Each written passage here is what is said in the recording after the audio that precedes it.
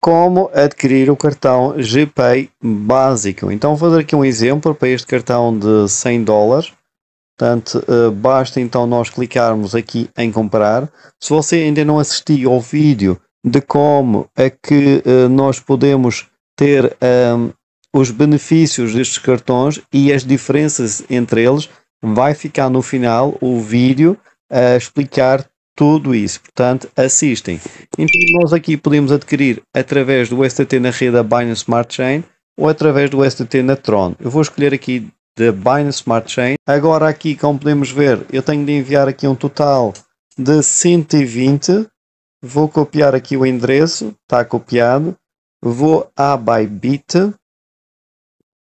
Vamos clicar em sacar. Vamos clicar aqui em USDT. E aqui o endereço. Vamos colar. Está aqui. Aqui embaixo, qual a rede? BEP20.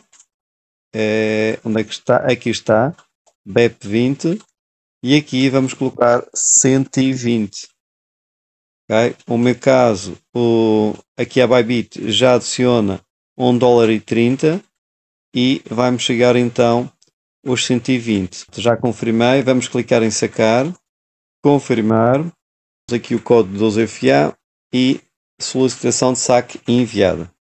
Clicamos OK, voltamos lá ao cartão. Vamos lá ver se já está e está pago. Vamos lá ver se está pago.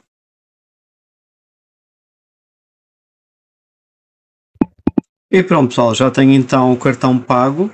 Ok, como podemos ver, está aqui. Uh, portanto, agora é só uma questão de esperar que o cartão chegue a casa. Vocês depois podem também explorar aqui os vários produtos que, que existe, sem ser este cartão. Pessoal, quando chegar o cartão, vocês têm de colocar aqui o número do cartão e, e fazem então aqui a ativação. Aqui podemos ver a factura que eu paguei. Como podemos ver, está aqui, pago. E pronto, pessoal, uh, agradeço aí o vosso like no vídeo e também acompanhem aí no grupo do WhatsApp que eu estou a colocar mais informações sobre este cartão uh, todos os dias. Um abraço e fui.